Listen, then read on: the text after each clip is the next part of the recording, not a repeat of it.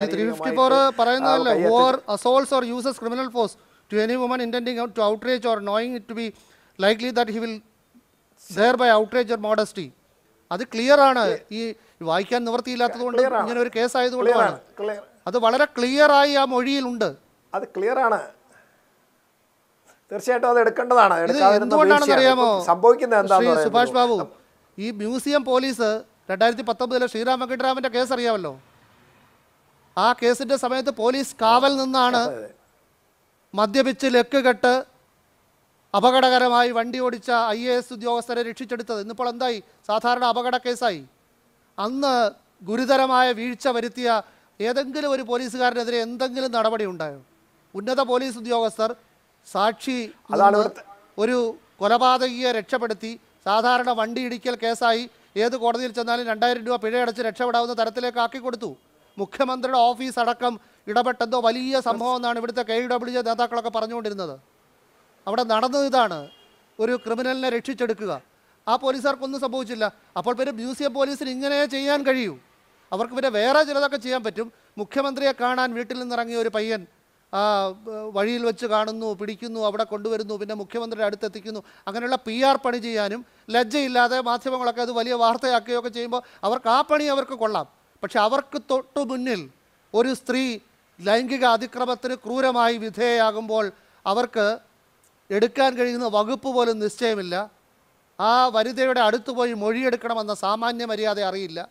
അവരുടെ മുന്നിലുള്ള ഒരു ക്യാമറയും അന്ന് ശ്രീറാം വെങ്കിട്ടരാമന്റെ സമയത്ത് രണ്ട് ക്യാമറയാണ് തിരുവനന്തപുരം സിറ്റിയിൽ പ്രവർത്തിച്ചത്. അതിലൊരു വ്യത്യാസമില്ല പ്രവർത്തിക്കുന്നതിന്റെ അവസ്ഥയും കണ്ടല്ലോ. ഇവിടെയാണ് മുഖ്യമന്ത്രിക്ക് ഓരോ പത്ത് അടിയിലും ഓരോ പോലീസുകാരൻ വീതം നിന്ന് നന്ദൻകോട്ട് ക്ലിഫ് ഹൗസ് മുതൽ സെക്രട്ടേറിയറ്റ് വരെ. ഞാനതുവഴി യാത്ര ചെയ്തുകൊണ്ട് ദിവസവും കാണുന്നതാണ് സംരക്ഷണം തീർക്കുന്നത്. അവിടെയാണ് വാഹന വ്യൂഹത്തിന്റെ അകമ്പടിയോടെ ഈ പത്ത് മീറ്റർ ഇടയ്ക്കുള്ള പോലീസുകാരുടെ നടുവിലൂടെ നമ്മുടെ മുഖ്യമന്ത്രി വരുന്നത്.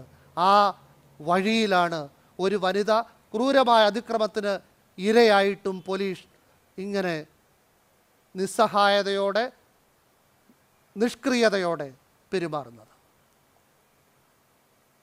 അതുകൊണ്ട് ആ വനിതയോട് ഒരിക്കൽ കൂടി ചോദിക്കാനുള്ളത് ഈ വിവരം കൃത്യമായി പറഞ്ഞിട്ടും വകുപ്പുകൾ എടുക്കാൻ തയ്യാറാവാതിരിക്കുന്നു എന്ന് മാത്രമല്ല ഈ പ്രതിയെ പിടിക്കണം എന്നുള്ള ഒരു ആഗ്രഹവും ഇവർ പ്രകടിപ്പിക്കുന്നില്ലേ?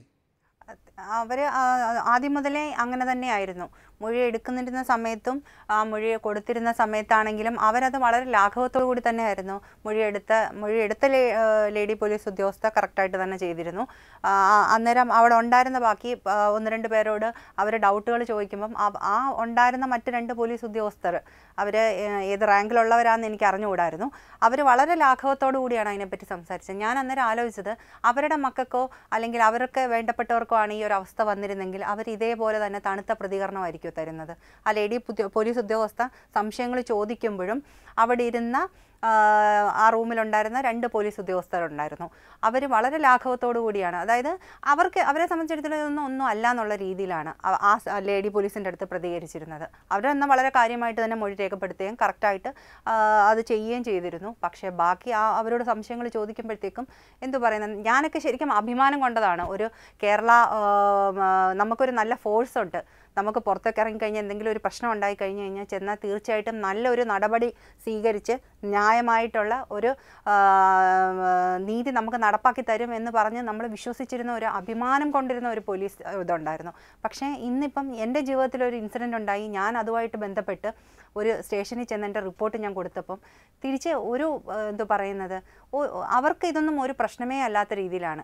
കാരണം എനിക്കാണ് അവിടെ നഷ്ടപ്പെട്ടത്. എന്റെ അഭിമാനം എന്റെ മാനസികമായ ബുദ്ധിമുട്ടുകൾ എനിക്കുണ്ടായ അസോൾട്ട് അത് എനിക്ക് മാത്രമാണ്. എന്നെപ്പോലെ അനുഭവിച്ചിട്ടുള്ള ഒരു വ്യക്തിക്ക് മാത്രമേ ഇത് പറയുമ്പോൾ അതിന്റെ ഇന്റൻസിറ്റി ചിലപ്പോൾ മനസ്സിലായെന്ന് വരത്തുള്ളൂ. ബാക്കിയുള്ളവരെല്ലാം വളരെ ലാഘവത്തോടു കൂടി തന്നെ ആയിരുന്നു ആ സ്റ്റേഷനിൽ ബിഹേവ് ചെയ്തത്.